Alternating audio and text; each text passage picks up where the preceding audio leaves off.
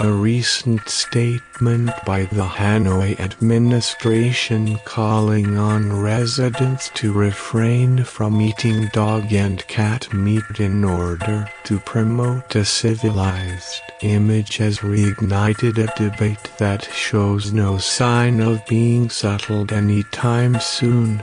The city wants people to see the value in treating animals humanely, the statement said. It has received both support and criticism from prominent citizens and the common man. Historian Nguyen Ngoc Tien said consumption of dog meat in Vietnam dates back to the French colonial times. From 1888, the French banned the consumption of dog meat. As Europeans think they're cute creatures, he said. The police even punished those who did, he added. The ban was lifted in 1936 food stalls selling dog meat began sprouting up on some of Hanoi's most iconic streets in the old quarter. Like Ma May and Hang Luoc, people who loved eating dog meat were often from the countryside, Tien said. He claimed city folks were less likely to eat dog meat because they were influenced by the French's civilized culture back then. The popularity of dog meat industry exploded around 1973 when street-side Bia Hoi Vietnamese fresh beer stalls became commonplace. Once people realized dog meat went especially well with the beer, the dish became an irreplaceable element in every nhau session, where people drink and feast for no particular purpose, Tien noted. He added, I support the opinion that civilized people don't eat dog meat. Not only will it create a bad image in the eyes of foreigners, but also because dogs are cute and loyal. To kill them for food is just cruel. Tien conceded that dog meat was still one of Vietnam's most beloved dishes.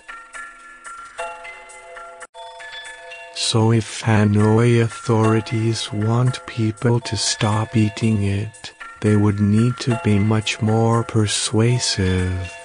Nothing to do with being civilized, not all scholars agree. Sociologist Trinh Hoa Binh thinks most people just wouldn't listen. It is hard for people to give up on their favorite dish, he said. Adding that eating dog meat has already become one of Vietnam's culinary identities.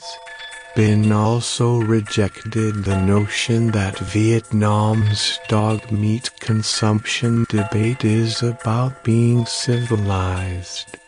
He saw it simply as a cultural difference. People from Laos or Thailand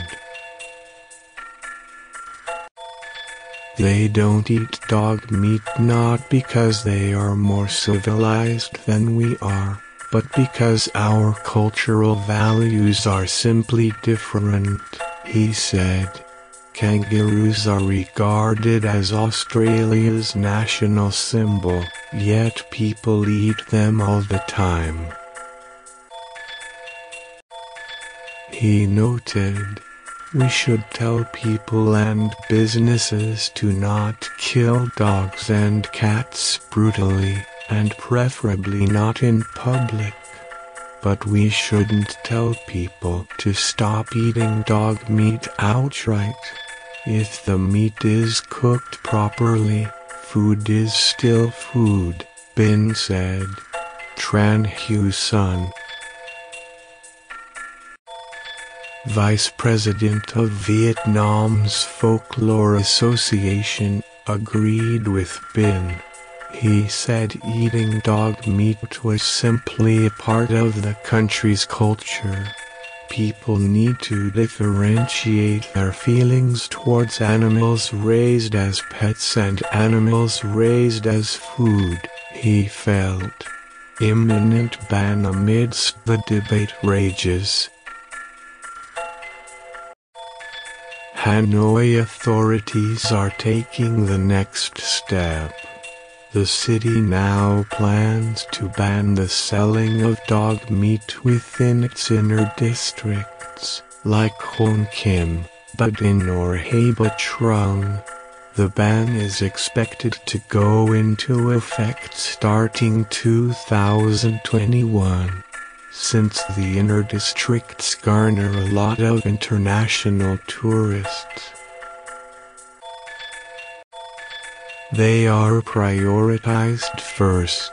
Nguyen Ngoc Son, head of the city's animal health department, said Thursday. In the outer districts, more time would be needed to apply the ban with residents' habit of consuming dog meat an obstacle. He said. He further said that the decision was taken after authorities noticed a shift in Hanoians' perception regarding dog meat consumption. I've done surveys myself and found that many students and office workers are letting go of their dog eating habit, Son said. He said the habit was changing not only because several countries and international institutions rejected it, but also because the meat could carry infectious diseases. Moreover, dog meat contains too much protein, which is bad for human health, he claimed. According to official statistics, Hanoi currently has over 1,000 shops where dogs and cats are sold as food, but just 15 where they are sold as pets. It is also estimated that the city has approximately 500,000 dogs and cats raised at homes. Most of them, 87%, are kept for housekeeping purposes, while the rest are bred to be sold or consumed as food. The Vietnamese market consumes an estimated 5 million dogs per year, second only to China, which eats roughly 20 million. It has been reported that many of the dogs eaten are stolen pets sold to small, unregulated abattoirs and killed in brutal ways. Dog theft is rarely treated as a criminal offense in Vietnam.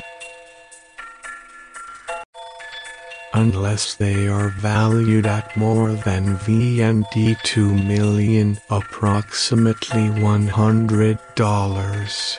The video is sponsored by Cntronic.com.